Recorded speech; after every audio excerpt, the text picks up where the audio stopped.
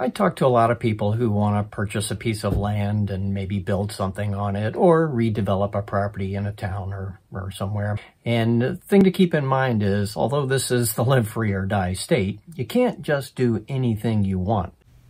Hi, this is Greg Powers with Keller Williams Metropolitan, and this is Real Estate Smarts in under three minutes.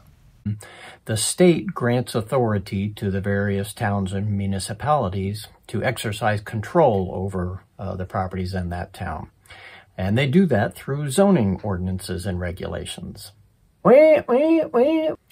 So a town will divide itself into different zoning districts and then apply rules and regulations about what can be built there, how it can be built, and what uses that property can be put to.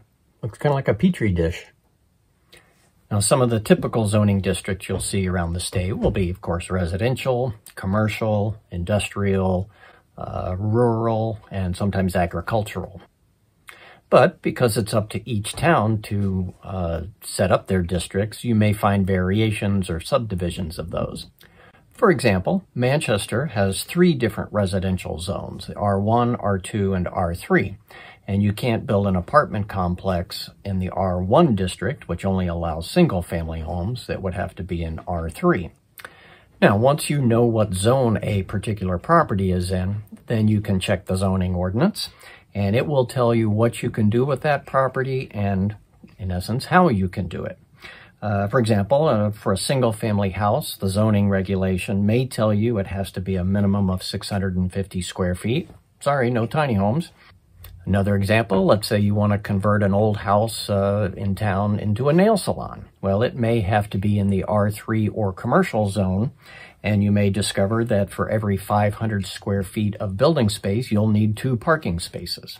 So if you're interested in doing something on a, a piece of property, the first thing you want to do is find out what zone it's in. Then your next step is really to reach out to the town planning uh, or building department um, and just explain what you're interested in, what you'd like to do, and they will be very helpful in uh, you know showing you the regulations, discussing it with you, and maybe giving you some ideas of what they will allow or won't allow.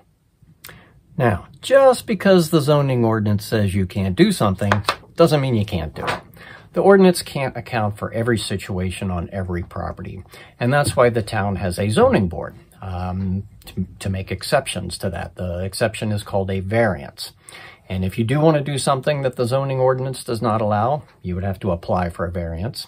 Now, depending on what you're trying to do, that can be pretty complicated, expensive, and time consuming.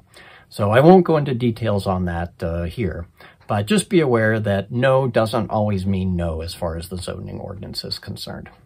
So again, just to recap, uh, if you want to do something on a property, check the zoning ordinance first, talk to your town planning or building department, and then see what the options are. If you have any other questions, don't hesitate to reach out. And if you like this video, if you found it useful, uh, feel free to leave a comment below, um, like it, and if you know anyone who would benefit from the information, feel free to share it.